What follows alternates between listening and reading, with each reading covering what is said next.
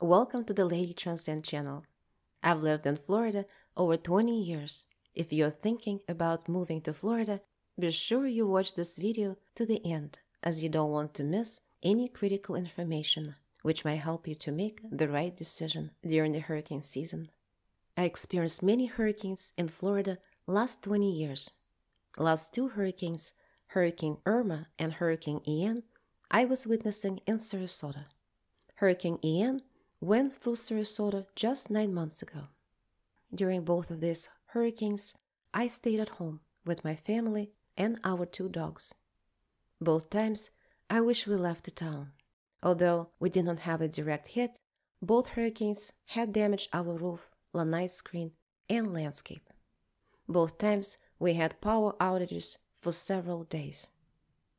Now, I will describe in details witnessing Hurricane Ian in Sarasota, Florida, and I will show you the damages my community still has nine months later.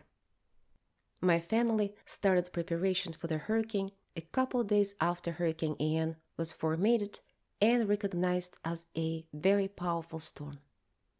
First days of preparation, we got extra food and water. We filled our cars with gas. It's a good idea also to fill an extra gas container, just in case. Most of gas stations are out of gas in days of approaching hurricane. We did not own a house generator, so I started making large blocks of ice. Of course, you can purchase regular ice cubes, but large blocks of ice stay frozen much longer. So I would pour water into the plastic food containers and place them in our spare freezer. When the ice becomes completely solid, I transfer it from plastic containers to the multiple coolers. You can also add a good amount of ice to your freezer, and your freezer will act as a cooler for a while when you lose power. So, on September 27, 2022, Hurricane Ian made its initial landfall as a Category 3 storm in Cuba. At this time, the projection of the further landing was not very clear, and we hesitated if we should put our window shadows or not. Most newer houses in Florida come with manufactured aluminum window shadows. They're pretty heavy, bulky, and have sharp edges. We were not looking forward to installing them, as we still remember the pain of doing that the previous Hurricane Irma. If you decided to use the metal shadows, be very careful and wear the protective gloves. Or better, find a company who will do it for you. On September 28, 2022, as the Hurricane Ian strengthened to a Category 4 storm and made landfall west of Fort Myers, my husband and I started frantically to put the hurricane shadows on our windows.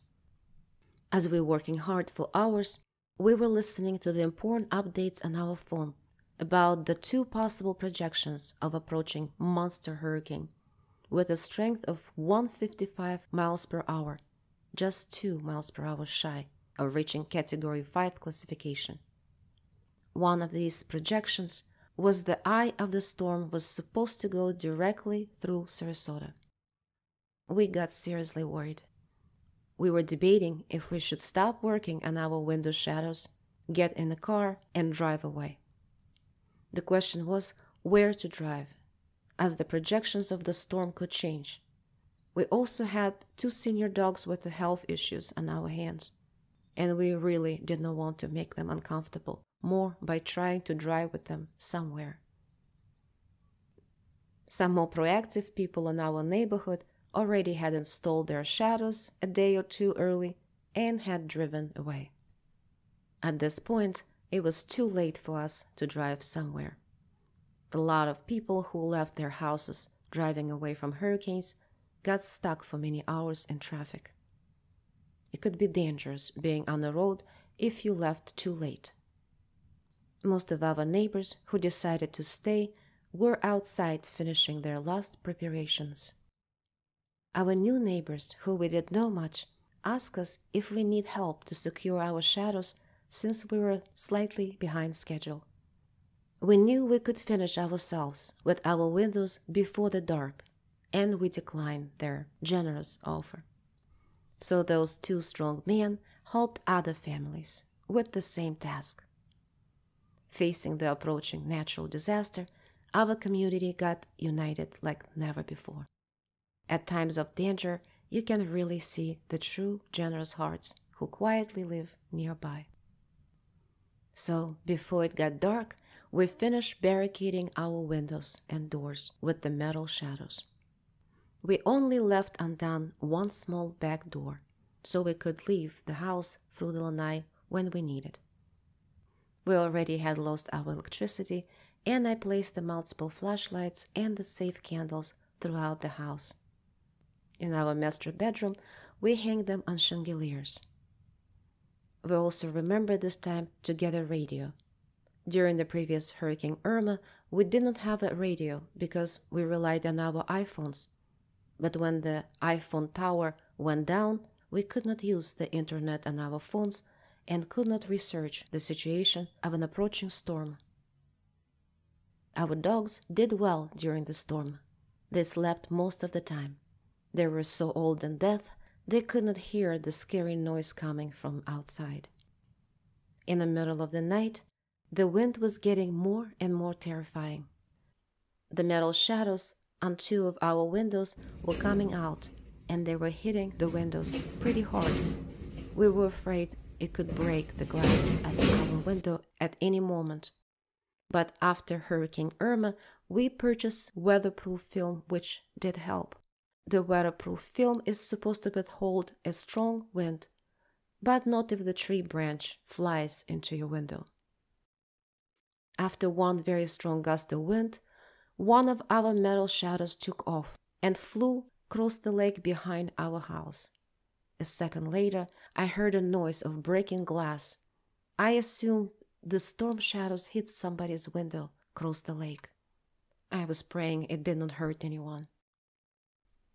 Around sunrise, worst part of the Hurricane Ian was over for us. A few hours later, people started to get out the houses, talking to the neighbors and assessing the damages Ian left behind. At first glance, it did not look so bad, except for disturbing landscape. We did not see our roof damage till later. We were worrying about my husband's parents because we could not reach them on the phone the phones stopped working during the worst time of the hurricane, and that morning we still could not reach them. So we drove to their neighborhood. The ride to their neighborhood was difficult because the road was covered with broken trees and power poles. Parents were doing fine, but they lost six of their big trees, mostly the oak trees, and they had a broken cage and torn screen of their lanai. Sarasota did not have a direct hit as was expected. Instead, Hurricane Ian went east, crossing Florida and leaving catastrophic damages behind. Port Charlotte, Fort Myers, Naples were not very lucky. Sanibel Island got completely cut off. Hurricane Ian claimed over a hundred human lives and caused between 40 billion and 70 billion dollars in total damages, according to final estimate from CoreLogic. Many homeowners had regular home insurances, not flood insurances, and they had to carry the financial burden of their home damages. The uninsured flood loss is estimated to be between 10 billion and 17 billion dollars. These are pictures I just took a couple days ago. So, nine months after Hurricane Ian passed, people in our neighborhood still waiting for their home insurance to pay for their roofs. Some people getting a new roof, and some just repairing it. Even if your insurance will pay for your new roof, you still have to pay the insurance deductible, which was 15000 we had to pay. After insurance agrees, to pay for your roof, which is a long and painful process, it also takes six to eight months to get the order of new tiles for your new roof. So, a lot of homeowners will be waiting for a while, and meanwhile, Their houses have a blue cover on the roof, as you see on these pictures I took. Despite the hurricane season, I still love to live in Sunshine State all year long. If you're interested in detailed description of the pros and cons of living in Florida or Sarasota, Florida, be sure you click on the links of the videos below. Or even better, you could subscribe to this channel to see all of my videos. Thank you for listening. Until next time.